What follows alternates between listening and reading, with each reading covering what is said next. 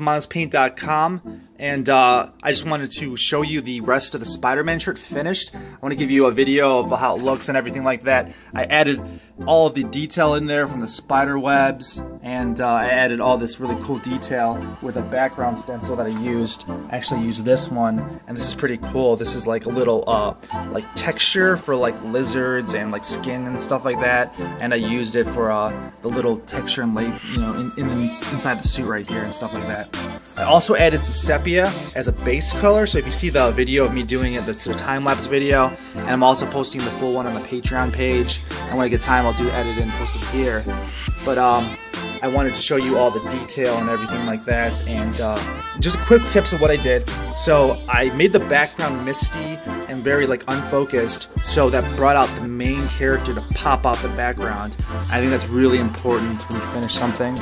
So see it's more like prominent in the front and um, I also airbrushed, you know, all the little like kind of highlights in there at the end and then the mist in the background. So here's like the sepia I used by Wicked. So detail, it's kind of all dingy because I'm always painting all the time, using a ton of colors and you know, moving around.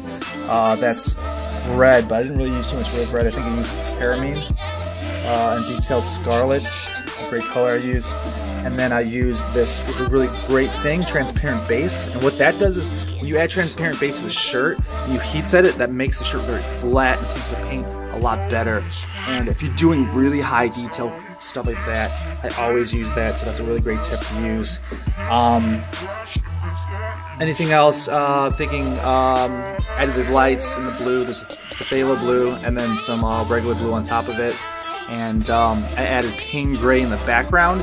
So it's not so black black but it's kind of like that misty kind of city look.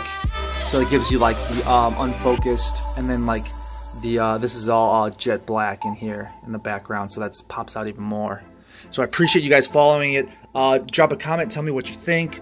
Uh, like, subscribe, or uh, just let me know what you, what other questions you have. You know, share and all that good stuff. It really helps out my video and, get, and gets it out there. And uh, even check out Patreon if you want to uh, join that. I'll send the link below. And uh, I send all the videos and all the behind the scenes stuff there too when I'm working. So I appreciate you guys, and I'll talk to you again later. All right, later. Bye.